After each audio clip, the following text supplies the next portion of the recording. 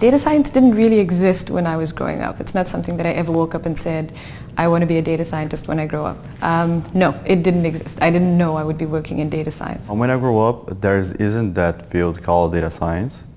And I think it's really new. Data science didn't exist until 2009, 2011. Someone like DJ Patil or Andrew Gelman coined the term. Before that, there was statistics and I, just, I didn't want to be any of those. I wanted to be in business and then I found data science a heck of a lot more interesting. I studied statistics. That's how I started.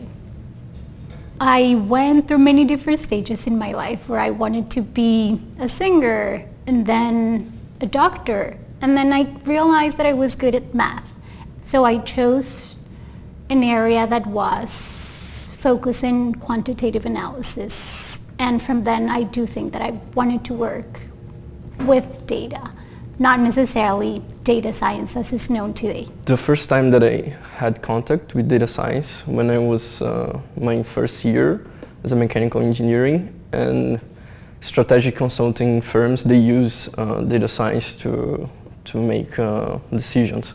So it was my first contact with data science. I had a complicated problem that I needed to solve uh, and the usual techniques that we had at the time couldn't help with that problem. I graduated with a math degree in the worst possible time right after the economic crisis and you actually had to be useful to get a job. So I went and got a degree in statistics and then I worked enough jobs that were called data scientists that I suddenly became one. My undergraduate degree was in business and I majored in politics, philosophy and economics. And then I did a master's in business analytics at uh, New York University at the Stern School of Business. When I left uh, my undergrad, the first company I joined, uh, it turned out that they were analyzing electronic point of sale data for retail manufacturers. And what we were doing was data science, um, but we only really started using that term much later. In fact, I'd say four or five years ago is when we started calling it analytics and data science.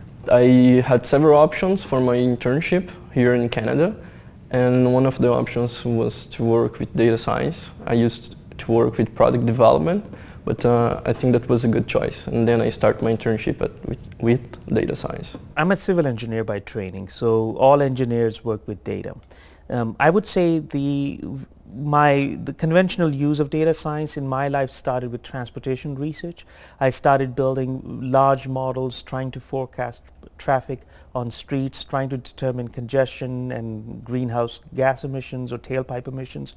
So I think that's where my start was and I started building these models when I was a graduate student at the University of Toronto, started working with very large data sets, looking at uh, household samples of say 150,000 households, um, half a million trips, and that too I'm speaking from 19, mid-90s when this was supposed to be a very large data set but not in today's terms.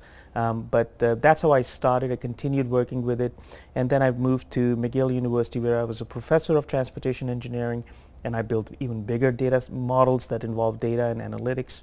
And so I would say, yes, transportation research brought me to data science.